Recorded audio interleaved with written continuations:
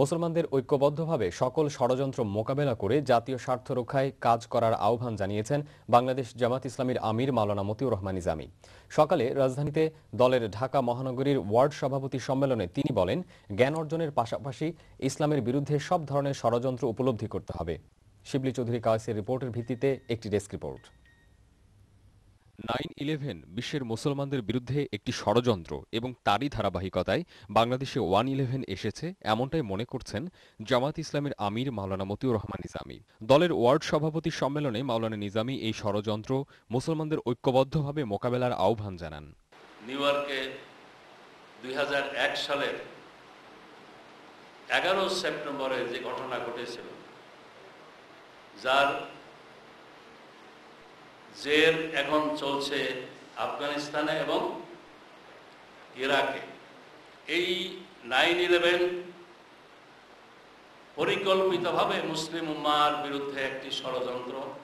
এই এক এগারোরই মিশন বাস্তবায়িত হয়েছে উনত্রিশে ডিসেম্বরের নির্বাচনের মাধ্যমে।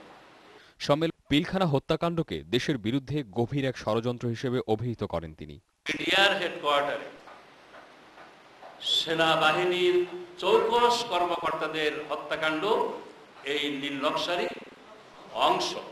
এক এগারোর নায়ক সেনাবাহিনীর বিরুদ্ধে বিডিআর বিরুদ্ধে বিদ্রোহ দমনের জন্য নিজেও কোনো উদ্যোগী ভূমিকা নেননি সরকারকেও কোনো উদ্যোগী ভূমিকা নিতে দেননি।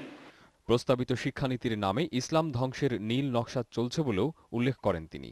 তিনি বাংলাদেশে ইসলাম মুসলিম উম্মা, ইসলামী প্রতিষ্ঠান, গণতন্ত্র সার্বভৌমত্বের বিরুদ্ধে একটি নীল নকশার অংশ। মাননীয় প্রধানমন্ত্রী মরহুম শেখ মুজিবুর রহমান সাহেব এই শিক্ষানীতি বাস্তবায়ন করে যান।